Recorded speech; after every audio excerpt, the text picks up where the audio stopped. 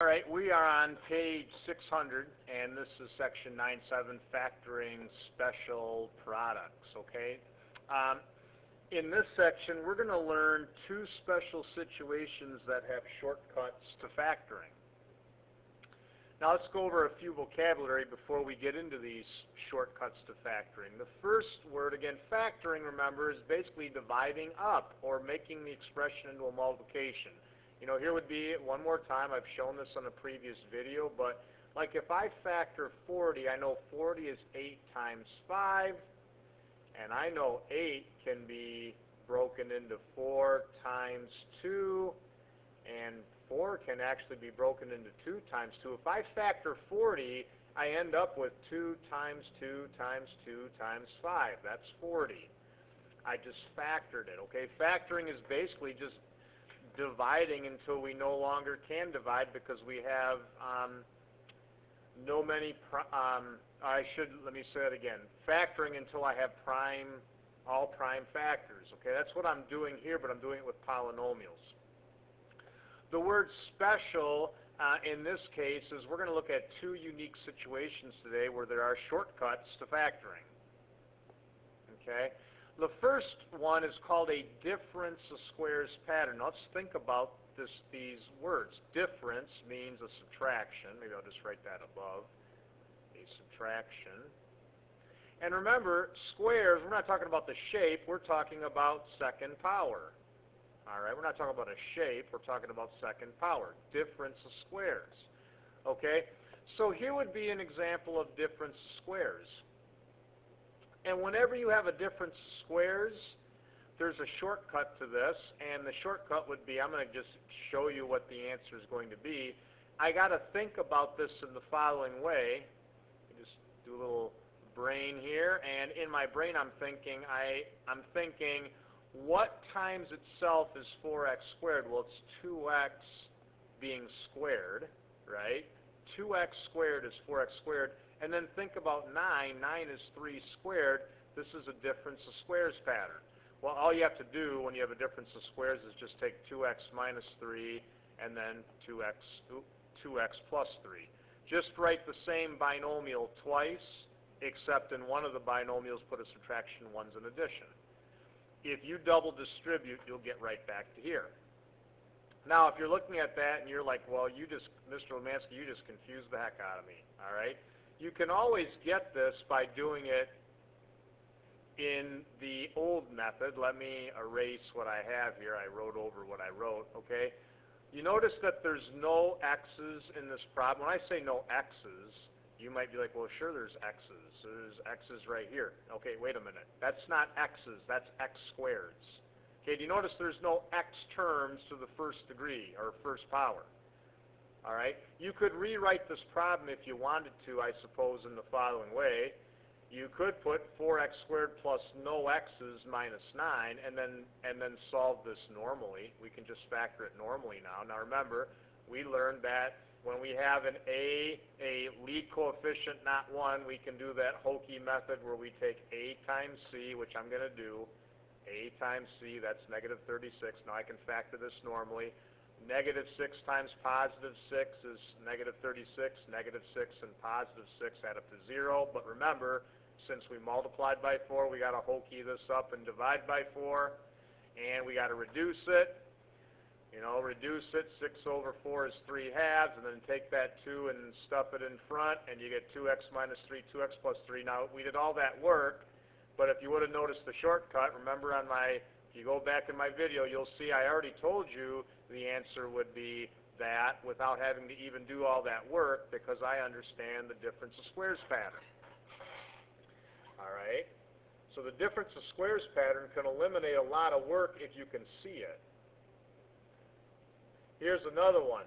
Number 7. This is a difference of squares pattern. First of all, when you factor, here's the first thing. You always want to check, do we have a common term that we can undistribute or unfactor or factor out, I guess I should say is the proper terminology. And you notice how I can divide both of these by negative 3. So if I divide here by negative 3 or I factor out the negative 3, I have m squared, and if I factor out negative 3 out of 48, I get negative 16. Now think about this for a minute, just if you're like, well, how did you get there?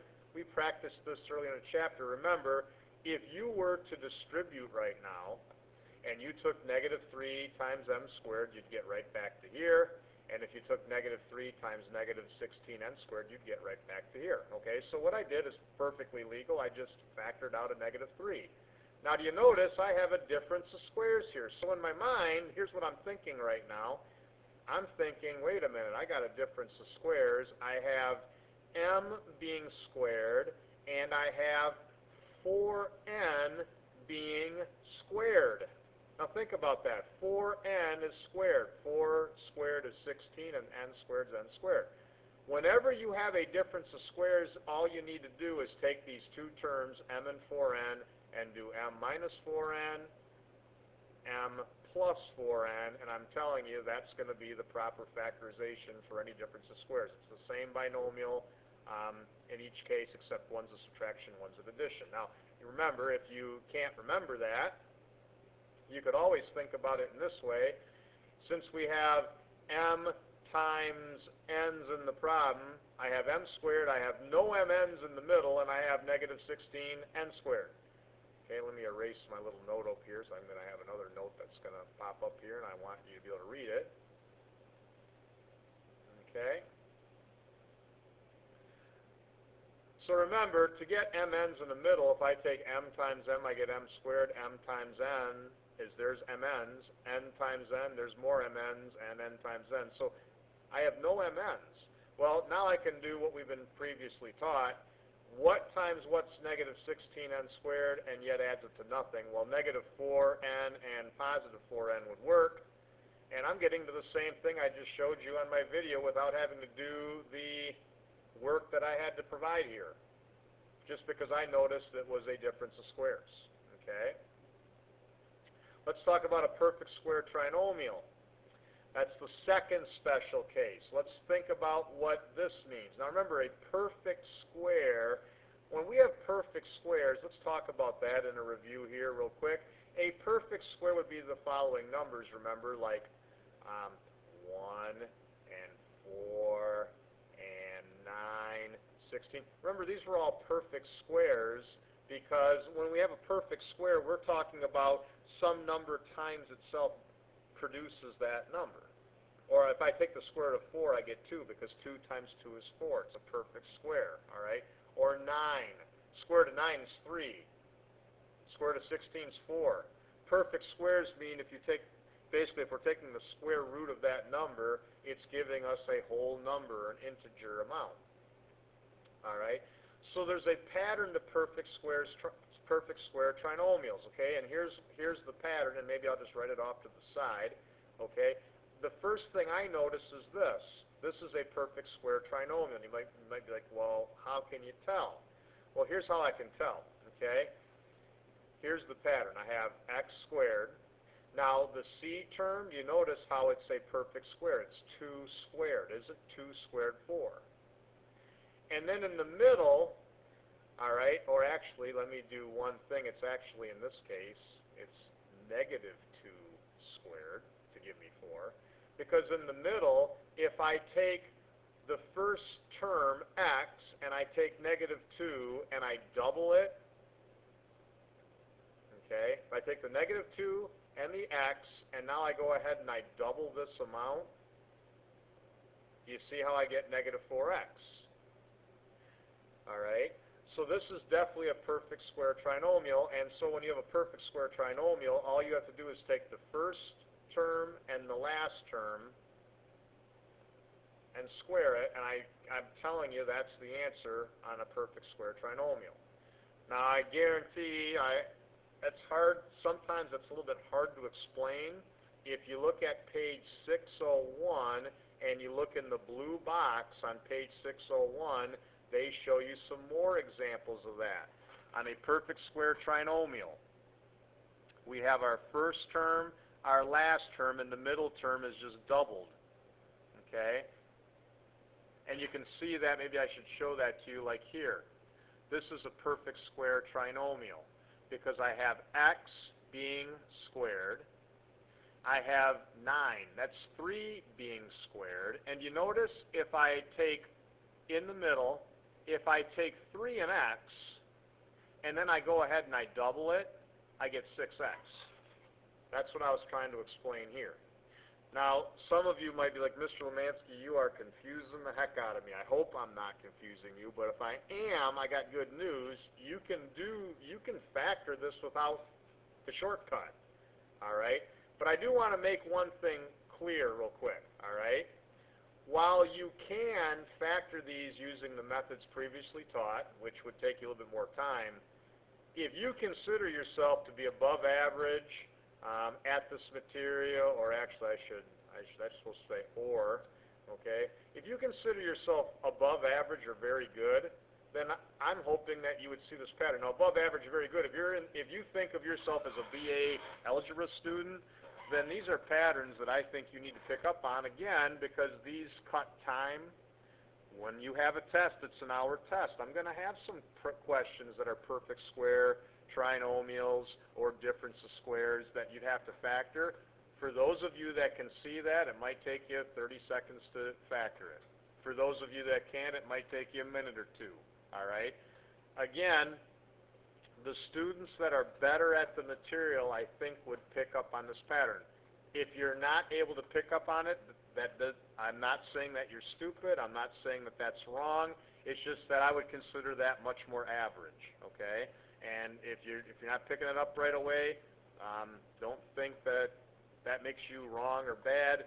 It's just that if if you are able to pick this up, those are the people that I would consider really excelling at the material and not just meeting the basic bar, all right? So I hope that made sense and didn't disparage anybody. I'm not trying to. It's just the people that are really good at this are going to pick up on this.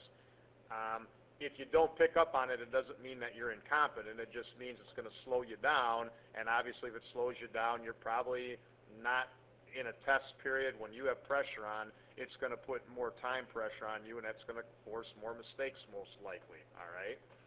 So, again, the answer to this, now think about it, if we do it the old way, what times what's 4, but adds up to negative 4? Well, I'm thinking in my head, I'm thinking that negative 2 times negative 2 is 4, and yet negative 2 plus negative 2 is negative 4, so I have x minus 2, x minus 2, which is x minus 2 squared. There's a perfect square trinomial all right?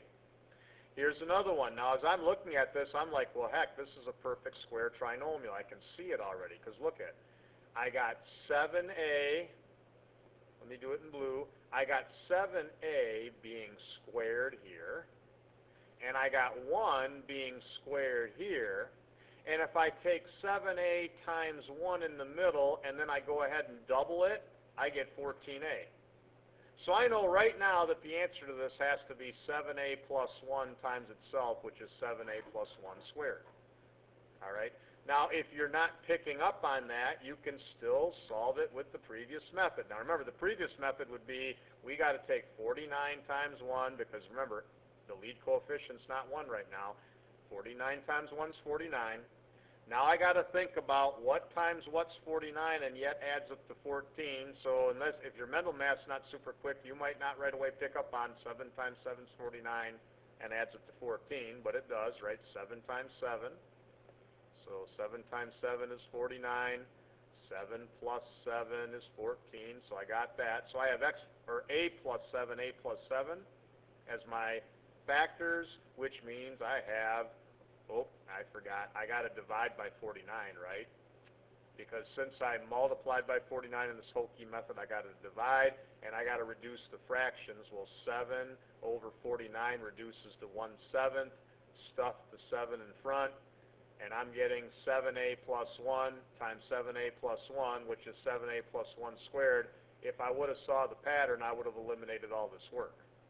Okay, so again, not seeing the pattern in no way, shape, or form makes you stupid or anything. It's just slowing the process down. As and as you know, when you only have an hour to take a test, as the process slows down, you're under more time pressure. And obviously, the people that understand the process are going to get through this more rapidly and fluidly. Those that aren't, it's just slowing it down and making it a little bit more painstaking and that's what I'm trying to say, all right? Um, here, I see a difference of squares pattern right away. Okay, I notice immediately a difference of squares pattern here, but a couple things I wanted to address first. This is technically not written right. We should reverse this, and we don't want a lead coefficient that's negative, so I'll factor out the negative. So actually, before I do that, I can see right now what the answer is by just knowing that this is a difference of squares. So I have a negative, and I have 121p squared minus 49. Okay? This is a difference of squares because this is 11p being squared and 49 is 7 being squared. Here's a difference of squares. So simply the answer must be 11p minus 7, 11p plus 7, and because we factored the negative out right away, got to have a negative out front. Okay? So that's simple. I saw a pattern. Okay? Now, if you don't see the pattern, that doesn't mean that you're wrong. It just means you got more work to do. So we got to factor out the negative, and we had no p's in the problem. And now we got to take 100, since the lead coefficient's not 1, we got to take 121 times negative 49, which is going to get us this huge number. Pain in the rear. Now we got to think about what times itself is, or what number, shouldn't say what times itself, what number what times what is negative 5,929 and yet adds it to 0. So you can fiddle with your calculator and you'd figure out that 77 and negative 77 multiply out to that. And maybe I should erase this and make it more clear because uh, I did some work there obviously. And so 77 and negative 77 is what creates this.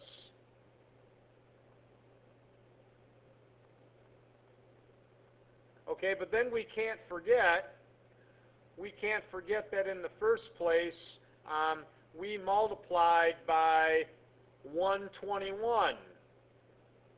So now I got to fiddle around with this. And now I got to reduce fractions. Well, I know 11 goes into 77 7 times, and 11 divides into 121 11 times. And now I can take the 11 and stuff it out front, and I'm getting the same answer, but I had to do all that work versus if I would have saw the pattern, I would have been done right away. Okay? So again, if you don't know the pattern or you're not seeing it, that doesn't mean you can't get it done. It's just going to take you more effort, and it's going to give you more chances for more mistakes. Here's another difference of squares. I can see it right away. I'm going to factor out the 4, and now I immediately see a difference of squares. I can see it right now. Okay? I know that if I take C and square it, there's one square, there's my difference of subtraction, and I know 100 is 10 squared. If there's a difference of squares, it's very simple. C and 10. C minus 10, C plus 10. Very simple. Okay? If you don't see that, you can always get it by putting 0C in there. Now you got to go through what times what's negative 100 and adds it to 0.